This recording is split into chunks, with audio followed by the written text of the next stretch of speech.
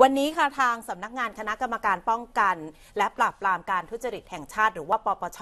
จึงมีการจัดประชุมขึ้นมาค่ะ ซึ่งเป็นการประชุมต่อต้านการทุจริตอาเซียน ประจำปี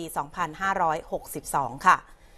การประชุมครั้งนี้ก็มีพลตำรวจเอก วัชรพลประสานราชกิจเป็นประธานนะคะ ซึ่งเป็นการประชุมประจำปีค่ะของหน่วยงานต่อต้านการทุจริต ในภูมิภาคอาเซียน หรือว่า CPAC ในหัวข้อการประชุม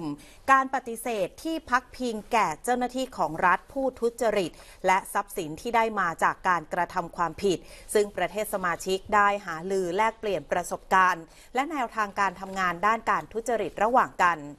ประธานปปชยังย้ำเจตนารมณ์ของไทยที่ให้ความสำคัญกับการต่อต้านการทุจริต ทั้งในระดับประเทศและนานาชาติ และยังแสดงบทบาทเชิงรุกของไทย ในการต่อสู้กับปัญหาการทุจริตระหว่างประเทศ รวมถึงผลักดันการนำไปสู่นโยบายและนวัตกรรม เพื่อขับเคลื่อนการทำงานร่วมกันของอาเซียน เพื่อตอบสนองแนวคิด ร่วมมือร่วมใจก้าวไกลยั่งยืน ให้เกิดขึ้นอย่างแท้จริง ซึ่งนอกจากเป้าหมายการประชุมอังถัดและอาเซียน ประกาศนะคะว่าภายในปี 2500 ขออภัยค่ะ ปี 2030 เนี่ยภูมิภาคของเราจะกลายเป็นภูมิภาคเศรษฐกิจที่ใหญ่เป็นอันดับ 4 ซึ่งจากการเติบโตดังกล่าวค่ะ จะมีการเคลื่อนย้ายเสรีของเงินทุนและประชาชน